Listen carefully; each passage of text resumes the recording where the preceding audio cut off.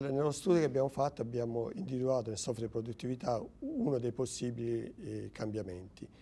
Abbiamo analizzato, abbiamo fatto uno studio a premessa di tutto questo, abbiamo visto che eh, LibreOffice e Microsoft Office erano equivalenti per le nostre esigenze. Abbiamo fatto uno studio dettagliato, abbiamo, preso, abbiamo analizzato cosa noi, i nostri utenti producevano con Microsoft Office, abbiamo analizzato, abbiamo visto che tutto questo era possibile anche con LibreOffice. Quindi è stata una comparazione tra i due software, abbiamo visto che non c'era decadenza di produttività. Questo è in Bright, documento in Bright. Adesso lo apriamo in Word. This is the LibreOffice writer. Yeah. Yes, I know it. Yeah, yeah, yeah. Okay. Adesso lo apriamo in, in Word. Ecco. Come nota è uguale. It's the same. It's the same. So you have no problem with formula. No, no, li apriamo contemporaneamente, guardi.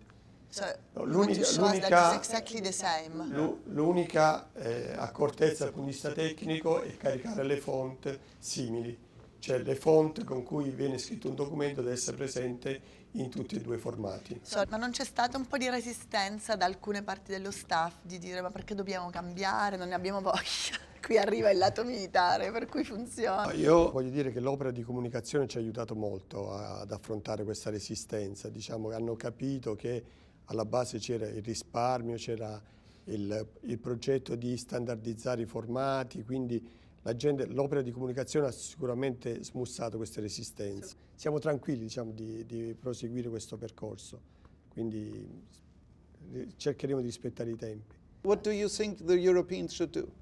Mettere una software house importante a livello europeo eh, sarebbe auspicabile, però questo non vuol dire contrastare qualcuno, voglio dire, ognuno è, da- dal punto di vista informatico è libero. Il, la- il vantaggio dell'open source è che codice è libero, è codice aperto, quindi è disponibile alla personalizzazione, quindi è una volontà di chi deve promuovere questo.